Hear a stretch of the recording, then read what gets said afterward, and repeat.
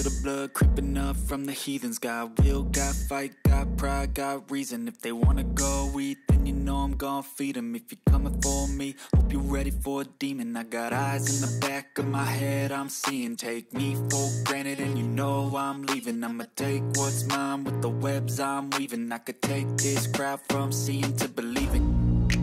I ain't gonna give up. Got too little time, I'ma live up. Head down, push forward through the tough times. Cause anything worth doing is a tough climb. And I ain't gonna give up. Got too little time, I'ma live up. All right, you guys, we are going for it. So we're going to the Burbot Bash, which is in Flaming Gorge, um, but we're going to just outside of Green River, Wyoming. But we found out that they have I-80 closed, which is the road to get get us there. But I got a phone with someone who said they're letting us in if we tell them we're only going to this section. So we're going for it. We're hoping for the best. But if we get there, we get turned around. We're just going to call an audible. We're going to go somewhere else. Yeah, so we're going to the Burbot Bash, which is an annual ice fishing tournament. And the purpose of it is just to catch and keep and kill as many burbot or lingcod or whatever you want to call them out of this lake because they're an invasive species, they're a predatory fish, and so they're harming the um, native species. It's really fun, really cool prizes if you do win or catch a big one or catch one with a um, tag in it. So we're heading down there. Last year we got our butts kicked, but we have a different game plan this year. So I feel like we're gonna be doing okay this year. We're gonna be eating really good, lots of company. We're gonna have four people on our team, so hopefully we catch lots of fish. But first thing, we're gonna get gas, and then we're just gonna start going. So I'll bring the camera back out in a little bit.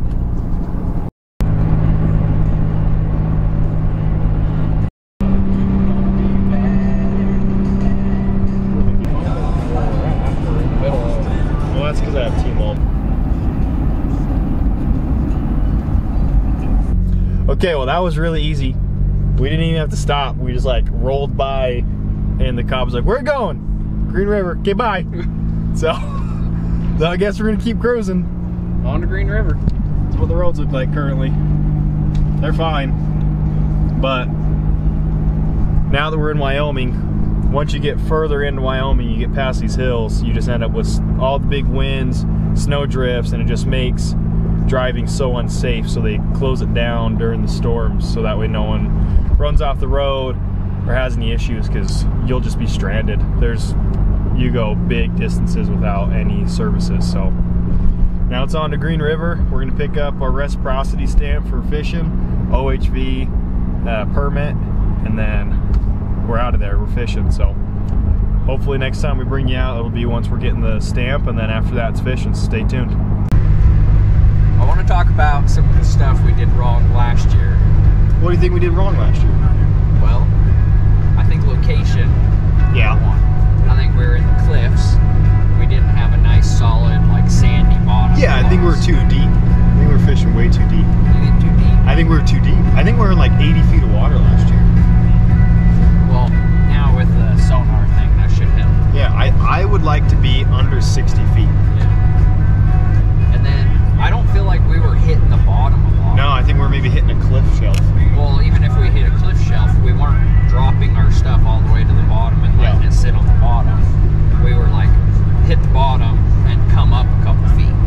Yeah, I yeah, like we should hit the bottom and do what I did when we were at Rockport. Hit the bottom, get tension, and maybe bring it up like half a reel, if anything. If anything. Yeah, Because all the stuff I've been watching, like just let it hit the bottom. All the Midwestern guys, they just let it hit the bottom. Yeah, but the only problem with that is like if you let it hit the bottom, but you don't have enough tension in your line, you can't see it. Because if you have slack, you- they're just gonna be like Yeah.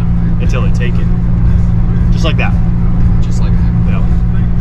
Made me go salary. I am not doing more than eight hours a day.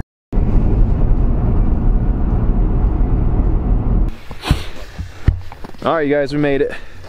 We're getting set up. I'll show you everything in a second. First things up, we got automatic fisherman with the tip up. You guys have seen that. We have shelter. It's gonna be kind of hard to see. And then we're actually getting ready to cook here in a second. We're gonna have to figure out some better lighting options for tomorrow. Oh, why am I not holding it like that? That's way easier and better view. So What? We got one shelter set up right now. Kind of see inside it a little bit. We have three rods, four rods in there. And then we're getting set up for cooking here. JC, are you the one cooking? I guess I'm cooking. Okay. We got Jake. Turn that light off, pal. Can't see you. I want to see your face. No one wants to see this face. We got Jake. Mr. Josh. Yo, yo, yo. Honestly, we kind of moved in over here on the ice. Everything's just, it's got a yard sale going. Um, but really, we're just kind of throwing something together for the night to try and get some fishing. Hopefully, we can catch something. We're gonna have some tacos, hang out. And then tomorrow, I'll do a lot more filming. We'll get actually set up, tripod and everything. But we're here, we're fishing. See if we can get some angles from inside the shelter for you. Yeah, so we got a couple rods, fish finder, chairs in there. JC brought some lights, but they suck really bad. So we're gonna have to figure something else out. Good morning. We are getting gas, and then we're getting back out there. JC, how we feeling? Uh, tired, sore. The uh, hotel we booked was not a good hotel. Not hotel, motel. the beds in this place are not really beds. But yeah, so we're getting gas loaded back up. We left a lot of the stuff on the ice, just in the shelters. We're gonna go inside, get get a drink, and then we're gonna get after it. So now that there's actually light out, we're gonna have a full day. I can film a little bit more than I did last night. We didn't catch anything. We had JC had all the bites and he stepped out and I hooked up on his rod but then it came off so today's the day we're just gonna hammer him so stay tuned.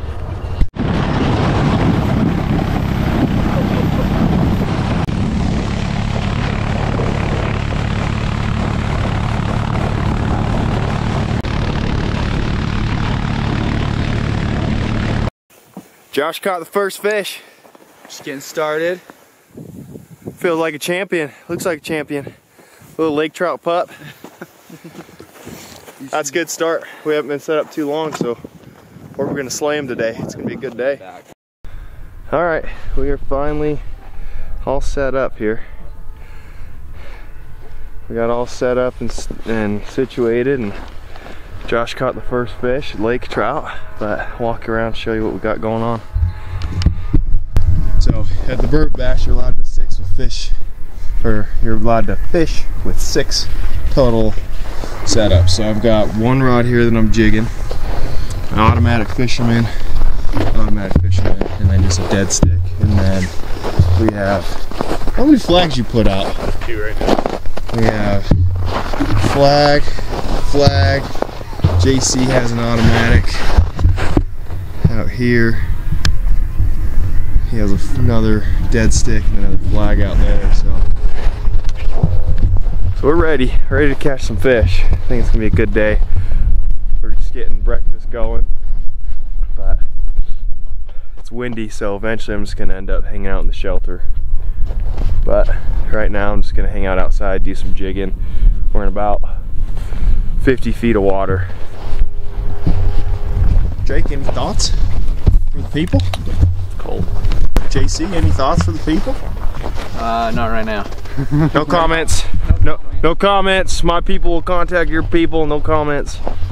But yeah, that's where we're at. We're just hanging out fishing. So, be a good time. So everything I have is just on the bottom. I went all the way down, got a little bit of tension, and that's it. And then I got all the bells set up to let me know what's going on in here. Cooking? Cooking? What are we cooking? Breakfast burrito mush. What's in it?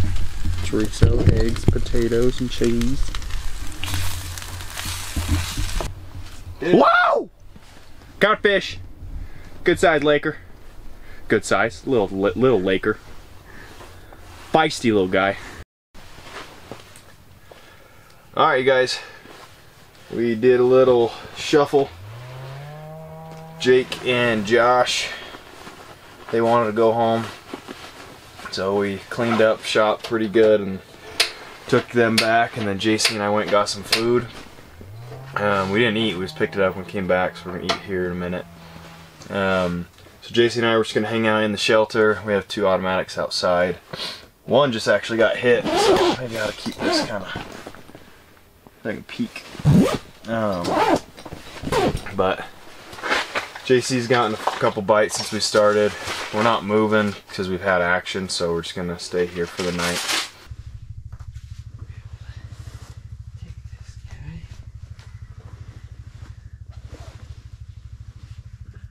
Yeah, the real move is like strategically placing it instead of just tossing it in like I've done. Trying to get it like mold to that front. So I can rest my toes on there. Well, we said our sandwiches pretty good, no spicy. Um, I'm bringing my lure back up because I'm trying to get it charged with my UV light. So, what I'm using, and this is kind of similar to what we're using on everything. It's just a little varied, varied. Grab onto that a little better.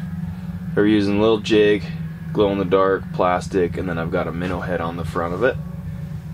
Um, we're getting lots of bites. It's just the problem that we're running into is it's either very subtle bites, and so it's hard to like see it or feel it and try and set a hook, or they're chomping around it, but the hook isn't exposed enough when we lift, and so then they're able to spit it out. Because we've had quite a few hookups and just they spit it out. So I moved to a smaller plastic and a smaller minnow head, hoping to get more hook exposure. All right, update. It is, I don't know because my watch died. Let me see. What time it is. it's just about 5 o'clock, 5 p.m., 1700. Just about 5. Um, sun's gonna go down probably in an hour. And from what I understand, from what I understand about Burbot, they more active the last few hours after sundown. So I think the next hour, couple hours should hopefully be hot. We are still getting nibbles, um, but I do think it's lake trout. I don't think it's burbot. All right, this lighting situation in here. We've got a little bright light, occasional JC's headlamp. Not the best, but worked for me. Well, JC just missed a bite on his automatic. He stepped outside and saw it go off, but they're real finicky. They'll bite, pull, let go, and they leave. So I obviously didn't get that, but starting to get some action. So hopefully soon we hook up on something. At this point, I'm not picky. I'll take anything: catfish, trout, salmon, burbot.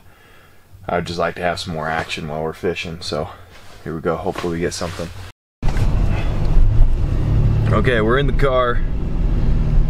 It is one, one degree outside and windy and snowing. So I think we're gonna bag fishing in the morning and we're just gonna go get our gear. and We're gonna leave.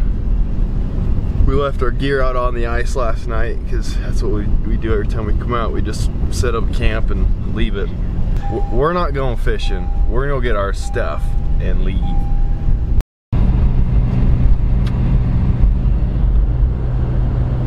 All right, you guys, that is a wrap for the, I don't even want to call it the Burbot Bash, but that's what we registered for. That's what we came out here for, but we didn't catch any burbot. I think it's really hard because there's just so much pressure, so many people. Um, a lot of people come up and pre-fish, and so I think by the time this starts, it's just they don't want anything to do with the baits because everyone who we talked to last year didn't catch anything, and I bet you same thing this year. So that's a wrap for us. We're gonna head home. It we were gonna fish this morning, but it was zero degrees and a negative 15 degree wind chill, so we didn't want to play around in that. So we got cleaned up, we're packed up, we're gonna get out of here. I might bring this back out on the drive if I'm feeling like it, but thank you so much for watching. Please like, subscribe, comment, and go get lost in adventure.